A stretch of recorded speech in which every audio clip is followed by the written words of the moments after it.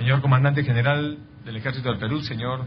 Comandante General de la Segunda División de Ejército, señores miembros de la familia militar, señor Viceministro de Energía y Minas,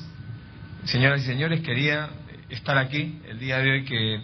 les entregan a nuestros a la familia militar en los eh, en las guarniciones de tropa de las diferentes regiones del país para las unidades sus eh, equipos de cocina y que les dan, además de la cocina, el balón de gas y los implementos, les permite dar bienestar, calidad de vida en el cuartel. Esto es importante porque muchos, todavía muchas reparticiones del ejército, hemos visto todavía eh, el déficit que tienen en su estadía en los cuarteles y antes se cocinaba leña.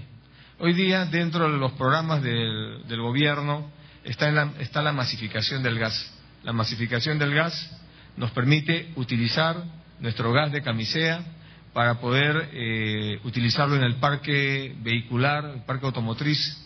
o también en lo que es eh, el consumo domiciliario de gas. Y en este caso estamos ampliando esta política de masificar el gas a los cuarteles, a las unidades de tropa. De tal manera que tengamos más tiempo para dedicarle al entrenamiento, a la instrucción, en vez de estar trayendo leña, tengamos una energía limpia para, para cocinar nuestros alimentos y también un combustible más barato como es el gas licuado de petróleo. Así que estoy contento de que la política de inclusión social también ingrese, se incorpore en las unidades militares. Asimismo, hacerles recordar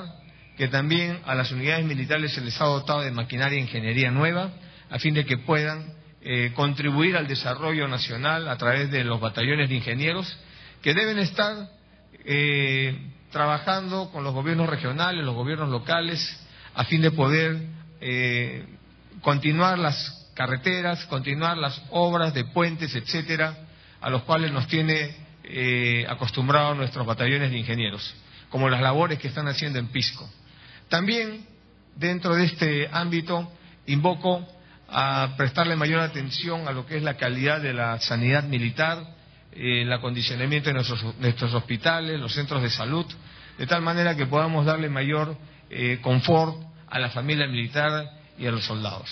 Y también va mi saludo a las unidades de los valles del río, de los ríos Apurímac, Eni, Mantaro, el Braem, que están eh, permanentemente combatiendo lo que es lo que son los remanentes que buscan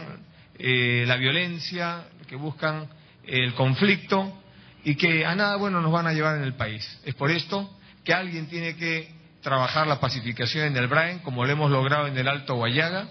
y eso le corresponde a las fuerzas del orden, Fuerza Armada y Policía Nacional del Perú, de tal manera de que en un plazo breve podamos entregar estas, estas grandes eh, tierras del Brain